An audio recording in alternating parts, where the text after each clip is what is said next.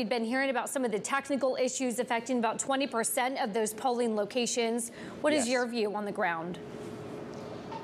Yes, Maricopa County invested in new tabulation machines in 2019. Officials say 20% of them are having issues where some ballots are not being read. They've clarified that those ballots can either be put into a secure box to later be manually counted, uh, or you have the option to recall your ballot and go to another location to vote, according to county officials. But particularly Republicans are already jumping on this, uh, spreading what is being dubbed, frankly, as election misinformation.